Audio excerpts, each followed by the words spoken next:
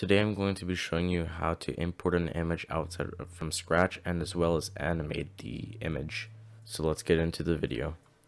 So the reason why transparent images are good is because they don't come with the background. So for an example, I have this regular image right here, just this Scratch logo.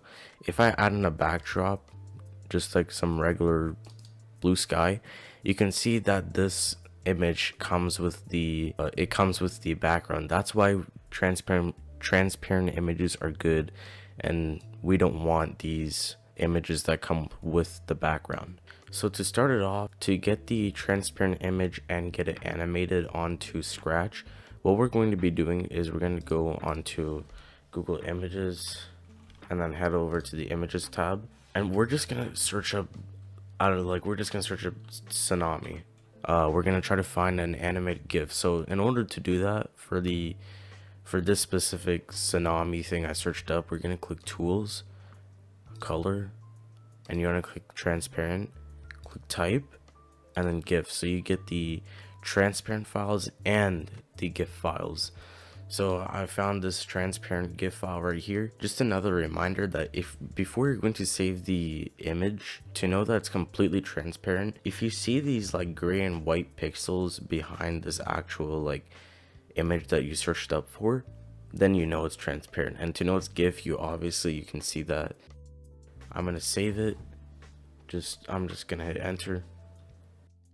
And I, you wanna click this, choose sprite you don't click on it, you hover over it, upload sprite, click the tsunami button, and there you go. So this is the transparent image.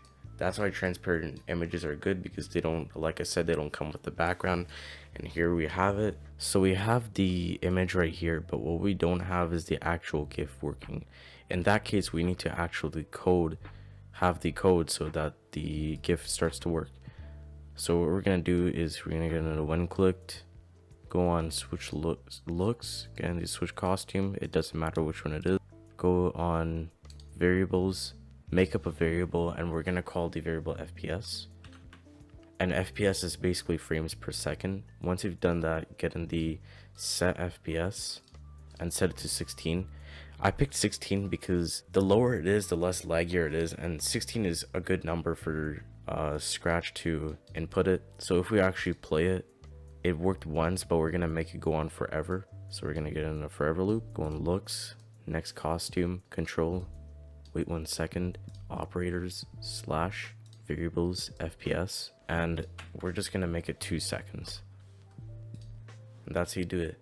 I like it having it as two seconds because it comes it has it has a nice timing to it. It comes out clean, but you can make it one I feel like that's really fast, so I just keep it as two. Anyways, guys, that's how you do it. That's how you make the animated GIF actually work. Thank you for watching. Peace. For more beginner level Scratch tutorials, visit our Scratch Basics homepage at chromeworks.ca slash basics.